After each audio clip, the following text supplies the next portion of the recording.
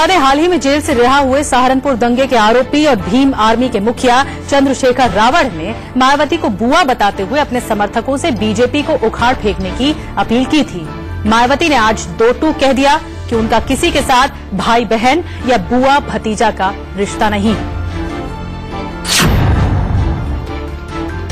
कुछ लोग अपने राजनीतिक स्वार्थ में तो कुछ लोग अपने बचाव में।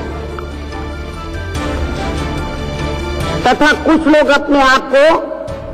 नौजवान दिखाने के लिए भी, यंग दिखाने के लिए भी ज़बरदस्ती का मेरे साथ कभी भाई बहन का तो कभी बुआ भतीजे का। और इसके साथ ही एक सोची समझी रणनीति के तहत उत्तर प्रदेश के जिला सहारनपुर के